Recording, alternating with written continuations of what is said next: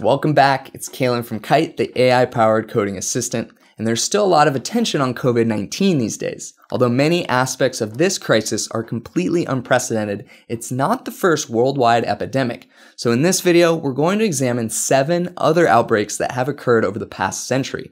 We'll use the simulation we built in the prior video to visualize COVID 19 to model each of these seven diseases. If you missed that video, check the link in the description below.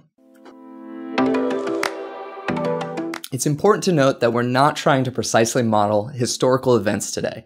Instead, what we're trying to do is compare the severity of different pathogens using a consistent basis. Our hypothetical population today has 4,500 people, of whom we assume 90% will contract the disease. We use these assumptions to keep things simple and comparable across the various pathogens, and what this does is it allows us to illustrate the variations in rates of mortality and recovery more clearly. You can learn more about each of these disease parameters, what they mean, how they vary, and where we got them in our GitHub repo, and that link is in the description below. Now let's check out these simulations in chronological order, starting with the 1918 influenza pandemic and ending with COVID-19.